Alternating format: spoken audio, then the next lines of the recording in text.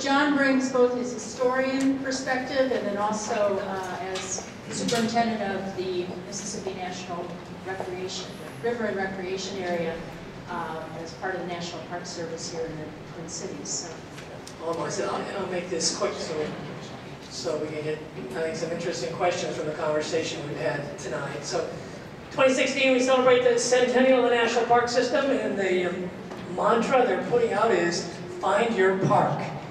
And you've all found it because you're in a national park right now, so, thank you. So I just want to quickly set up a context here for, you know, why this lock and dam, why these locks and dams out here, why were they needed? Um, And then I want to talk a little bit about, um, you know, the vision they had at that time and and how things changed and and why the locks and dams got built and come back to the opportunity, kind of.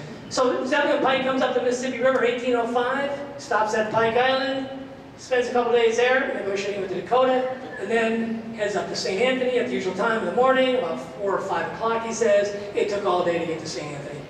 Well, why did it take all day, day to go eight and a half miles from the mouth of Minnesota to St. Anthony? He said you really could think of St. Anthony Falls as that entire eight and a half miles, like the falls of the Susquehanna or the Delaware. It was one continued rapids, aggravated, he says, by the interruption of 12 islands. So, you know, so, so this was an incredible rapids. By 1858, steamboats come and go from St. Paul a thousand times that year, and only 50 times from Minneapolis. And it's because of that incredible rapids there.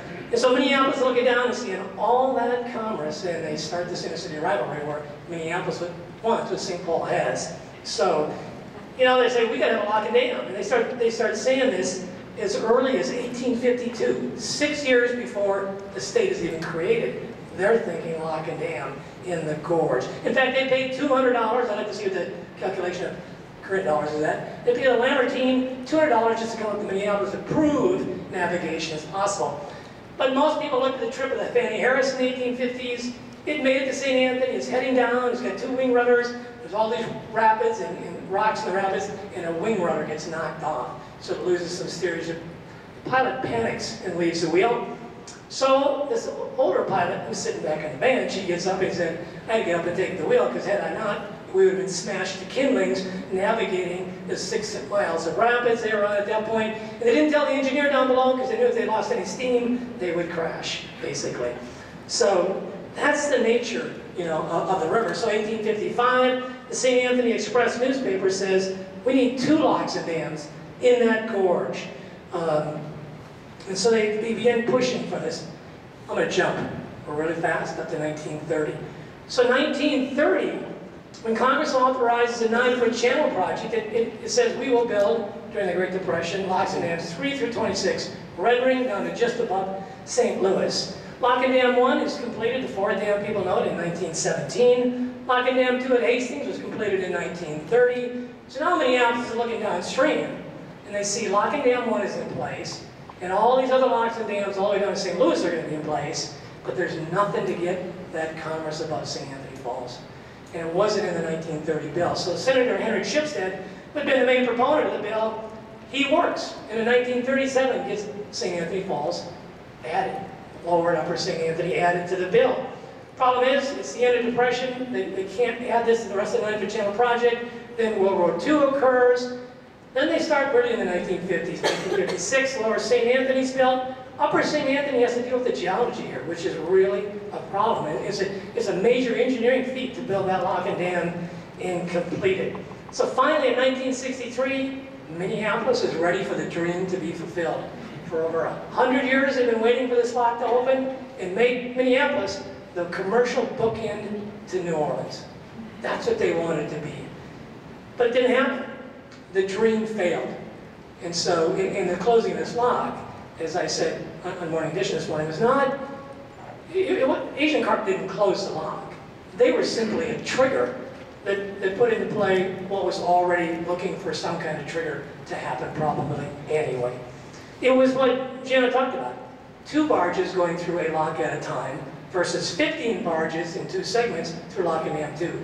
15 barges, which is the standard tow on the upper river, is 870 semi trucks. You know, so that's the economies of scale are huge. But up here, they just weren't. And they needed to get above St. Anthony because they needed space for their terminals. Um, so that, that was one of the, the big objectives.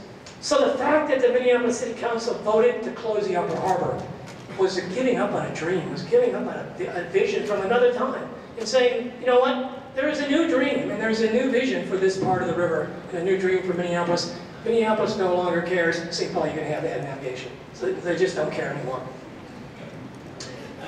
This, what happens is a rupture point. You know, the history says that rupture points occur where society has done one thing one way for a long time, and then all of a sudden they got to change. And there is this rupture that occurs, this change. And that's what happened here. We finally reached the rupture point, and Asian Carp provided that. So what's the opportunity? Jacob, Representative Councilman Frey started to get to that. But let me expand on it. It's not Minneapolis, it's not Minnesota, it's national. Um, we have a nationally significant building we are in, part of the American narrative. Across the river, we have the Pillsbury A Mill, part of the American story. Because this, this city led building from 1880 to 1930 in the nation, and at times the world. The, the, the Stone Arch Bridge is a national engineering landmark. These are, again, something filmed from California or New York, or where was that, Virginia? So, you know, they should think of the same thing. You know, this, this is a, these are national stories. Part of, every American kid should know, or an American should know. And so, when you think about the opportunities here, there's some people who question why is this national park here, what it's about. And I would say to those, well, let's build into it. Let's create what we create here. Let's make it national park worthy. Let's make someone say, I got to come to the Twin Cities, just because that's how they do river development. So now I'm going to turn it over to you for your questions.